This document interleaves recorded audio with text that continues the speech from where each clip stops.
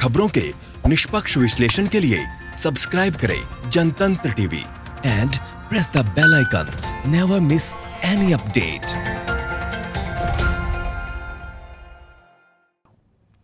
वहीं एलएसी पर जारी तनातनी के बीच मॉस्को में भारत और चीन के विदेश मंत्रियों के बीच करीब ढाई घंटे तक बातचीत हुई। विदेश मंत्री एस जयशंकर और चीनी विदेश मंत्री वांग ही के बीच बैठक के दौरान सीमा पर तनाव खत्म करने को लेकर पाँच सूत्री सहमति बनी भी है।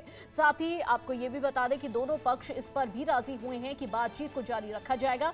सैनिकों को हटाने की प्रक्रिया में तेज़ी लाई जाएगी। खबरों के निष्पक्ष विश्लेषण के लिए सब्सक्राइब करें Jantantra TV and press the bell icon never miss any update